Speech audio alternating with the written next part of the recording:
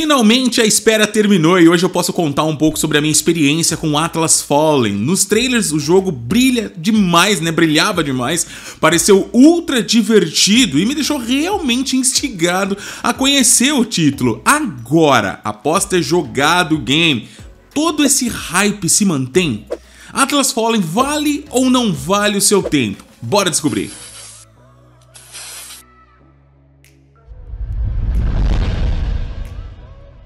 Fala fiotes, eu sou o Kalil e você está no Gamer Liu Games. Seja muito bem-vindo mais uma vez aqui no canal e para mim, como sempre, é um prazer gigante te receber em mais uma análise. Hoje, como vocês viram, nós vamos falar de Atlas Fallen, um game que eu confesso a vocês, né, ter ficado muito hypado quando eu vi os primeiros trailers. E hoje, mesmo não tendo terminado o jogo por completo ainda, eu tenho já uma base para comentar com vocês, explicar um pouco sobre o jogo tecnicamente falando, seu funcionamento, né, e por fim, dar os meus meus pitacos sobre a minha experiência pessoal com ele até agora. Eu te convido, né, a ficar comigo até o final para depois, obviamente, deixar também aí a sua opinião nos comentários.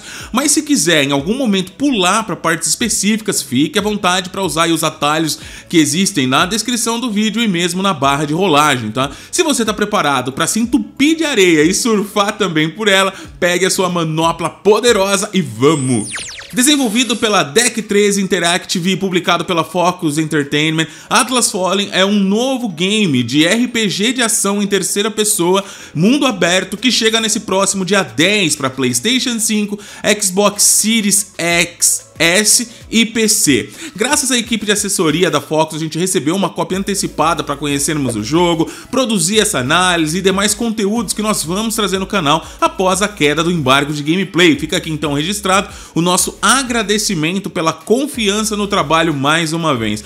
O jogo ele está custando atualmente R$ 299,90 centavos na PSN, R$ 299,95 no Xbox e para PC 179,90 centavos na Steam. Aproveito, né, já deixo aqui para você, jogador de PC, as especificações caso você tenha interesse em adquirir o jogo também, tá? Dá uma olhada aí, vê se vai rodar ou se não vai rodar para você. Até onde eu pude ver, né, não existe versões físicas do jogo sendo vendidas aqui no Brasil. Lá fora até tem, né, uma versão especial com apenas 100 unidades produzidas no mundo, então meio que tipo, deixa pra lá, né? Não vai rolar. Se aparecer versões físicas por aqui futuramente, né, durante as nossas lives e tal, eu vou comentando com vocês, mas por hora eu não encontrei nada.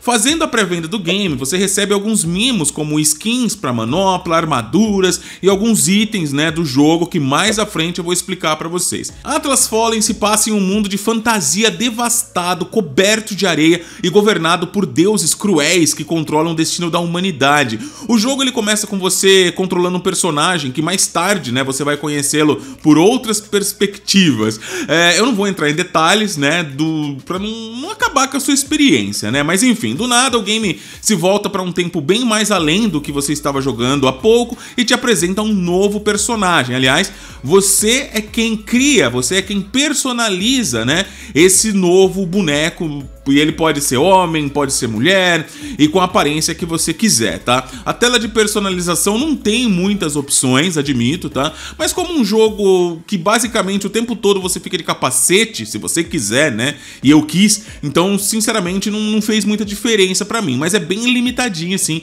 a criação de personagem. Resumindo bastante, você é o que o jogo chama de inominável, né? Sem nome tal, um personagem que está junto de um grupo, né, uma caravana, transportando essência, um item valioso ali no mundo do game. Junto de vocês, né, junto dessa caravana, meio que fazendo a escolta, existem soldados, tá? E sim, você tá meio que sendo explorado por esses soldados, porque eles são bem autoritários e abusam disso. Esses soldados, eles são regidos pelo deus Sol, que comanda toda aquela região onde você está, mas você é destemido pra caramba e decide peitá-los em um determinado momento dentro do game. E isso acaba por meio que te colocando para fora do assentamento onde vocês estão e você encontra uma manopla sobrenatural, que segundo o jogo já foi uma arma muito poderosa e conhecida das pessoas que vivem ali. Muitos já ouviram falar dessa manopla e olha só que delícia, você a encontra, né? Dentro dessa, dessa arma barra manopla mora um espírito que fala com você e te explica um pouco sobre o que está acontecendo, embora ele não tenha as memórias dele, pouco a pouco você vai reatando essas memórias durante o gameplay e vai aprendendo mecânicas que ele originalmente conhecia e através da manopla vai passando para você. Esse espírito vai ser seu companheiro durante todo o jogo e é ele quem vai te ensinar todas as mecânicas, explicar o que está acontecendo no mundo. Aos poucos, né, como eu falei, ele vai descobrindo, vai relembrando quem ele é de verdade, as coisas vão acontecendo, enfim, tá? Vai ser o seu parceiro de aventura. Sem entrar muito em detalhes, a sua obrigação é aprimorar, como eu falei agora há pouco, né, primeiramente aí essa manopla que ele trouxe poderes além do que você poderia esperar e usar isso a favor de todas as pessoas que estão sendo oprimidas pelas forças que regem o mundo, né, pelos deuses, tá? Tal. Sem contar que graças né, a essa manopla barra espírito, você vai ser capaz de enfrentar cara a cara monstros feitos de areia com diversos tamanhos diferentes. E isso é bem legal, tá? Para ser bem honesto com vocês, a história é bem ralinha ao meu ver, tá? Ela não me prendeu, mas eu vou não vou falar muito sobre ela aqui para que você não perca a sua experiência, né? E acabe descobrindo por conta se te interessa ou se não te interessa. Mas o combate é muito louco, a gente já vai falar sobre ele aí, ó. O gameplay do jogo, ele é formado, né, por sequências de combos, tipo Devil May Cry, tá ligado? Uso de até três armas, das quais você pode aumentar mais e mais os seus poderes, e uma porrada de habilidades interessantes para se usar ao enfrentar um mundo devastado, arenoso, como eu falei, repleto de criaturas gigantes. Definitivamente, de longe, o que mais vai te prender nesse jogo é o seu combate, que embora não seja uma reinvenção da roda, né, ele consegue sim te dar bons momentos de diversão, principalmente quando você avança mais no game e libera tudo, né, o que ele tem para te oferecer. Você fica bem OP. No início, eu confesso para vocês, né, nem isso me prendeu, porque o começo do jogo eu achei bem parado para falar a real, mas depois que o mundo se abre, você vai aprimorando o seu personagem, as coisas começam a fazer mais sentido e te entregar mais entretenimento, na moral. Você pode usar várias armas, né, ao mesmo tempo, tipo, da, três, são três, né? Mas você consegue modificar elas, trocar elas, né? É uma quantidade até interessante de combos para se fazer com cada uma delas. Tem martelos, foices, correntes, sabe? São, é, é bem legal, de verdade, tá? Esses combos você pode fazer de várias formas, seja em terra ou até no ar, porque, mano, é, você vai enfrentar monstros aéreos também, fora os gigantes, né? Que são divididos aqui nesse jogo jogo em várias partes para você acertar e você é obrigado a detonar cada uma dessas partes, né, separadamente para poder, por fim, derrotar o monstro, tá? Existem monstros grandes que são, obviamente, bosses e tal, mas monstros grandes também que você encontra no mapa assim andando, cara, e o bagulho fica louco, tá ligado? É bem, olha, essa questão do combate ela é bem divertida, tá?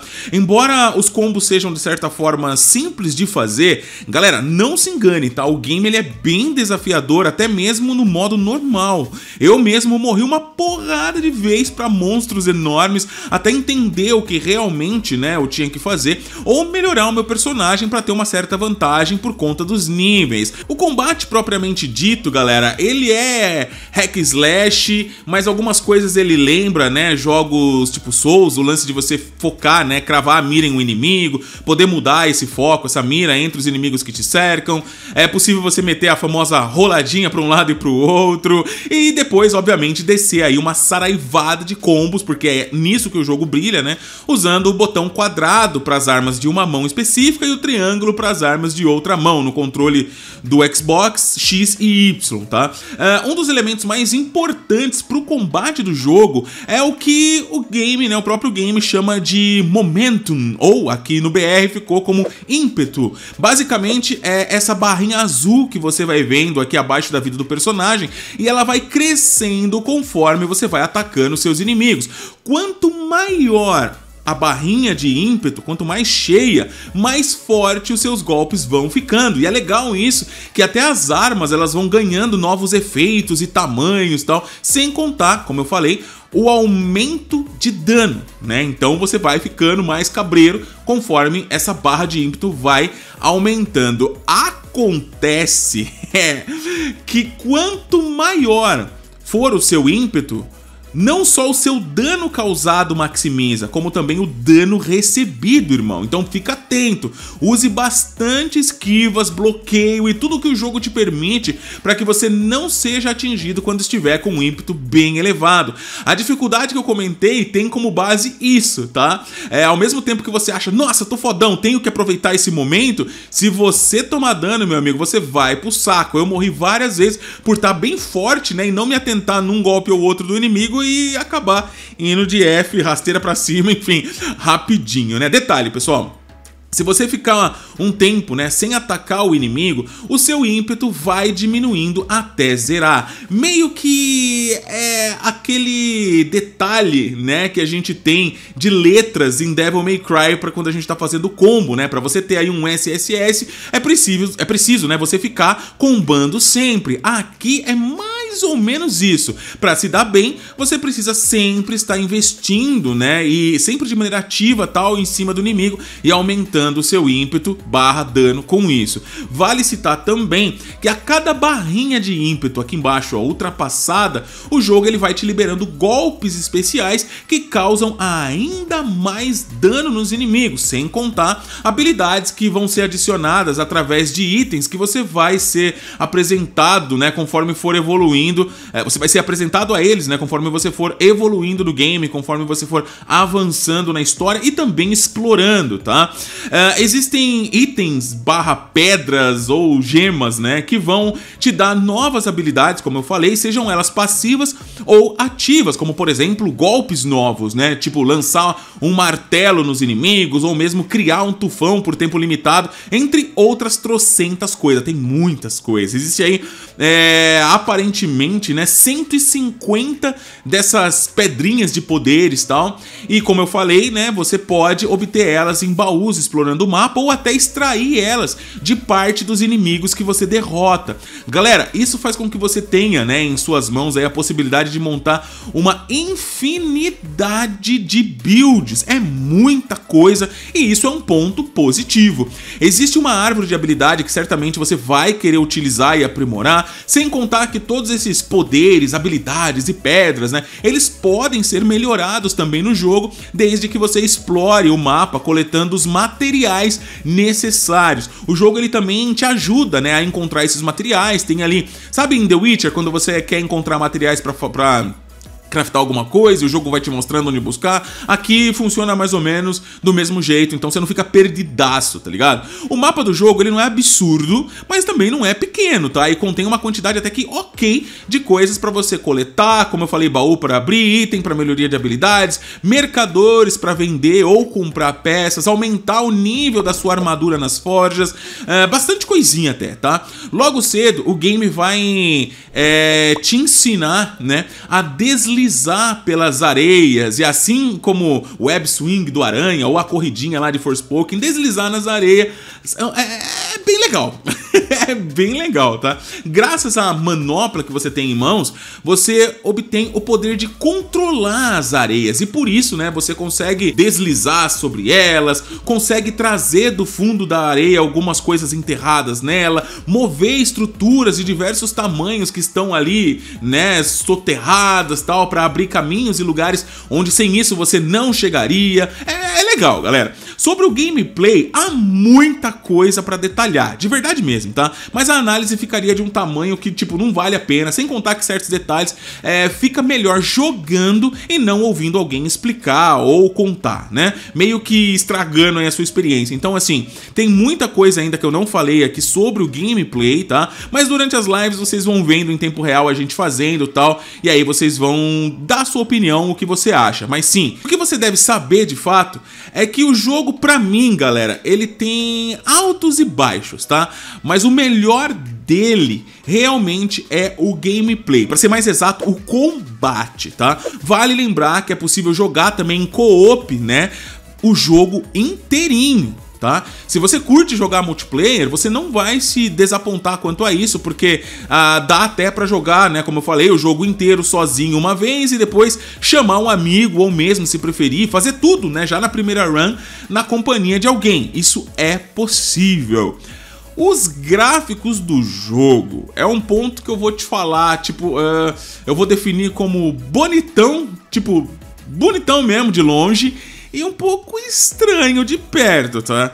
Olha, quanto aos momentos em que a câmera tá longe, os momentos de combate com toda aquela areia voando para tudo quanto é lado, monstros gigantescos formados por essas mesmas areias te atacando, combos, magia voando, brilho estourando na sua cara. Mano, quanto a isso aí, na moral, é tudo muito bonito. Os efeitos, no geral, são muito bonitos, independente de estar no combate ou não, eles chamam a atenção, tá? Os brilhos, as cores, as areias e tal, chamam a atenção. O deslizar, né, pela areia, com o efeito delas voando para os lados, o pôr do sol refletindo nelas, cara, é lindo, é lindo. Mas quando o jogo te mostra os personagens mais de perto, é Infelizmente, eles são bem semelhantes aos bonecões de cera que a gente vê em Assassin's Creed Valhalla, por exemplo, tá? Os personagens, eles não têm muita expressão, ficam durante as conversas em game, né, naquele movimento robótico esquisito pra... e para ajudar, é, não existe cinematografia durante os diálogos. Você fica, tipo, com o boneco parado diante de outro boneco, onde ambos ficam ali se olhando, mexendo com o corpo de forma estranha, e a câmera sequer faz aquele lance de se aproximar, né? Dando um close legal no rosto. Tipo um Baldur's Gate 3 da vida, saca? Onde as câmeras ficam trocando até de visão conforme um personagem vai falando, se expressando. Tipo, em Horizon Forbidden West é o ápice para mim de exemplo a ser seguido, porque nos diálogos Fora os planos, né, cinematográficos, a gente tem até CG, mano, muitas das vezes, né? Mas eu sei, é, eu sei, comparar um exclusivo da Sony com, com Atlas Fallen é, é muita sacanagem, eu admito, é mesmo. Mas é só para exemplificar, beleza? Eu, eu acho que eles poderiam ter feito melhor essa questão.